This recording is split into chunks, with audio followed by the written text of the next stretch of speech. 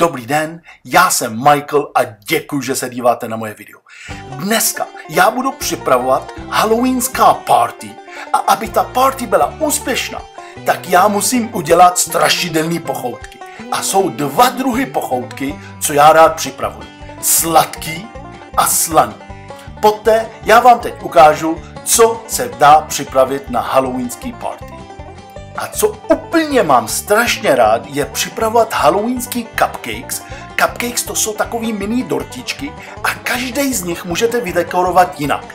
Na to mám video v YouTube, prosím se podívejte, jestli chcete detaily, ale hlavně můžete tam udělat například dekorace čarodejnice, a nebo dát oko, to jsou takové bombonky ve formě oko a opravdu je to eklový, a nebo taky udělat například mumie. Ten cupcake vypadá jako mumie. A jestli úplně chcete postrašit ty děti, tak já taky používám hada, ale ten had je udělaný z želatiny.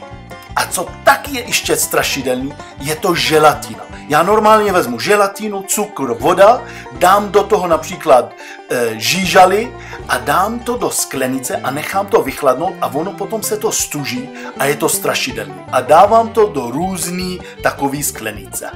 A to děti úplně milovali a si dávali takhle na zdraví.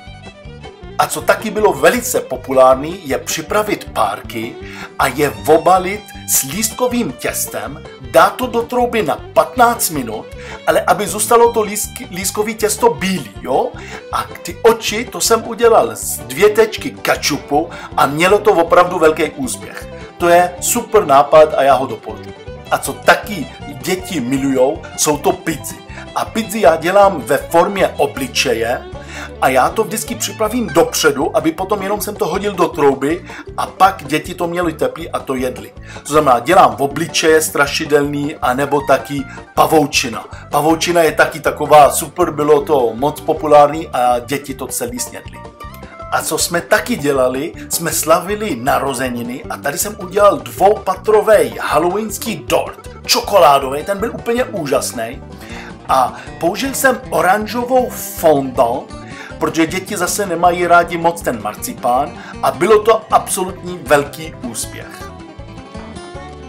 A celá halloweenská party byla velice úspěšná, děti všechno jedli, měli to rádi a hlavně bylo to v téma ten Halloween. Já vám doporučuji, abyste se podívali na moje ostatní videa ohledně Halloween a děkuji moc krát, že jste se dívali a doufám, že jsem vám dal nějaký nápady, abyste příště udělali taky úspěšnou halloweenskou party. Naschledanou.